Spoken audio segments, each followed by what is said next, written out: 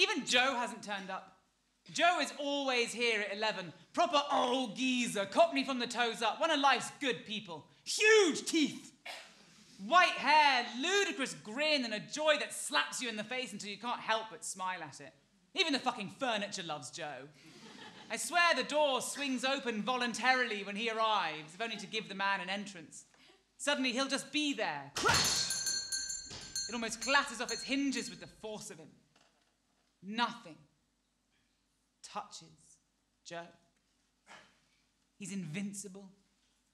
You can hear him bellowing, Hello, sweet pea, to the whole street before he swaggers in, long white hair blowing behind him, cut off checkered trousers, white t shirt, braces dripping wet from the rain. All, what magic, what a beautiful morning. I can't, I can't actually get over how glorious it is out there. Lucky to live, eh? Lucky to live. I don't know what he does. I just know he comes in at 11.